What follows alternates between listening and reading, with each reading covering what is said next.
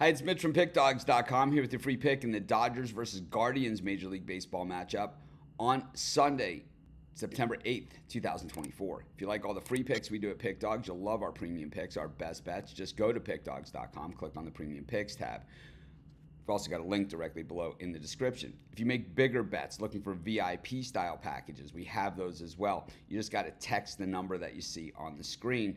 Um, these are meant for people with big bankrolls like $10,000 or more. This is our most expensive premium packages, but if that's for you, text that number. But let's get to it. We've got the Dodgers taking on the Guardians. Jack Flaherty on the mound for the Dodgers, while Tanner Bibee gets the ball for the Guardians. This is a good one, of course, because these are two first place teams, and these are two teams that have been in first place just about all season long, and they play in what you know, while um, you know the National League East and the American League East certainly get all the ink, and you know deservedly so for the most part. But these are the divisions: the Guardians American League Central and the Dodgers National League West that are putting the most teams into the playoffs this season. We know the season isn't over, and no one's really clinched those playoff spots. But you could you know say, well, there's X amount of games left, and they're playing at this rate, and you got a pretty good idea that at least you know the the Padres and the Diamondbacks look to be headed to the playoffs as at least wild card teams, and the Dodgers as well. While with the Guardians, the Royals, and the Twins, even though they sit in second and third in the American League uh, wild card race,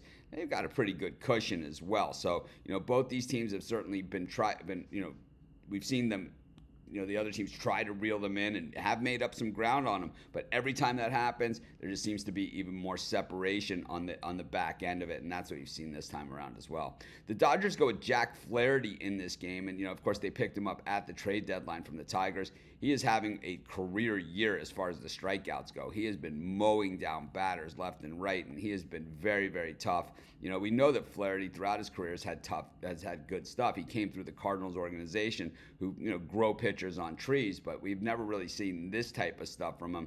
You know, where he has this many strikeouts. I mean, even since being traded to the Dodgers, he's got 41 strikeouts and 34 innings of work. He's got a 3.18 ERA. He started six games for the Dodgers already, and the Dodgers are four, four and one in those games that he started.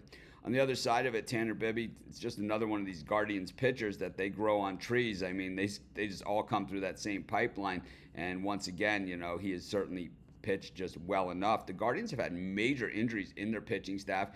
Got to remember that uh, Triston McKenzie, you know, never really was the same. And then uh, Shane Bieber, the ace of their staff, missing the entire season. But the Guardians not missing a beat.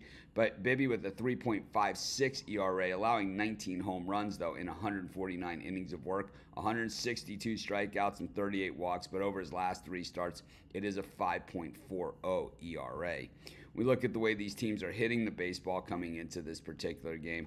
And, you know, both these teams are really good situational hitters. It's like sometimes the numbers, they don't fly off the chart at you, fly off the page, but at the same time, it doesn't mean that uh, they're not good hitters. But both these teams have picked it up right at the right time with the Dodgers at 286 versus righties and the Guardians at 251 versus righties over their last 10 games, significantly up from their season averages where the Dodgers were hitting just 248 versus righties and the Guardians at 232. Like I said, these are just two really good teams. I think the Guardians have the better bullpen, a lot better bullpen, but I think in this matchup, I think the the Dodgers have the better starting pitcher. Also, I mean those bats with Mookie Betts and Shohei Ohtani and you know just Freddie Freeman. I mean it's basically an all-star team. I'm going to take the Dodgers in this one, and that's going to be my free pick. Of course, while you're doing your picks, putting your bets in, use our free betting tools at sportschatplace.com. 100% free, and they'll help put you on the most favorable bets on the board today.